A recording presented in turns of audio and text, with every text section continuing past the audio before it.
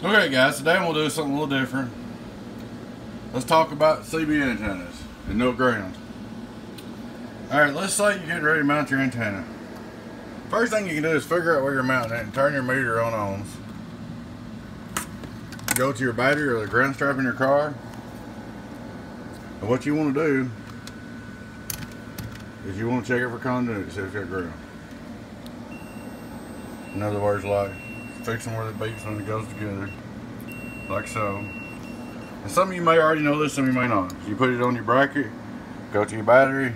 If you ain't got no ground, you got a problem. Go to your ground strap. If you ain't got no ground, you got a problem. All right, let's talk about the biggest mistake everybody makes, and that's why I'm making this video. They mount it on their wherever, and they don't have no ground. Okay, let's just put a piece of wire on the bracket and go all the way to the frame. Wrong answer. Now I want to explain this because people's doing this and it's causing them to tear up their boxes.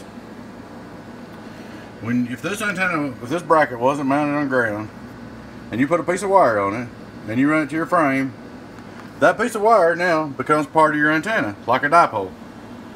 So there you go, you're messing your antenna up again. End result, blowed up box. Okay, let's talk about how to do this properly. Now what you'd want to do is you want to use the shortest piece of wire as possible as you can. You hook it to the bracket. You go to the first piece of metal. Let's just use this soldering iron tray for the first piece of metal. Try to give you an idea. You go to the first piece of metal, okay? Closest piece of metal from the bracket to the closest piece of metal. And then you come off that piece of metal with another ground wire and you go to the next piece of metal. Let's just use this linear case. So the way you do it is you would go Alright, let's just say, and do this as much as you can. You would go bracket, wire, metal, metal, wire, metal.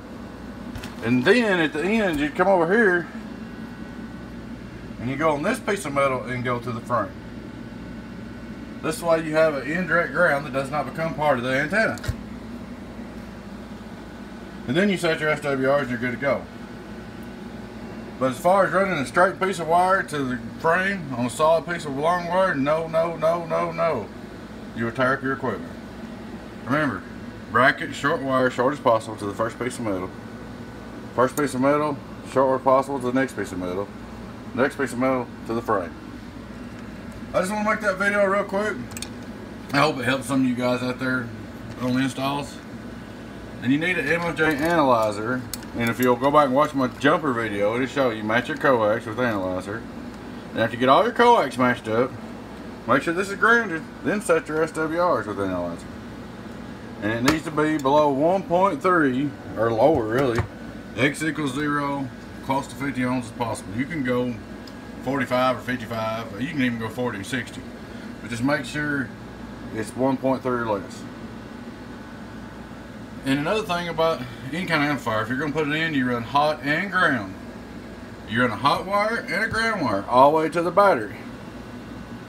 Now, if you want to keep a short ground for your amp, you bought, you run a short ground from your amp to the like first bolt under your seat, then run a bolt, then run a wire from that bolt in the seat all the way to the battery. But always, always the battery. Hope this video is informative. Just trying to help you out and make your equipment last longer and protect your investment.